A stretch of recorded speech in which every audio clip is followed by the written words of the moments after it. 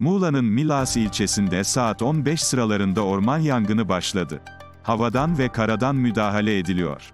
10 helikopter ve 6 uçak havadan alevlere sık sık sorti yaparak su atarken, kara ekipleri de yangının önünü almaya çalışıyor. Çevre ilçelerden takviye ekipler giderken, itfaiye ve bölgedeki özel firmalara ait su tankerleri de arazözlere su taşıyor.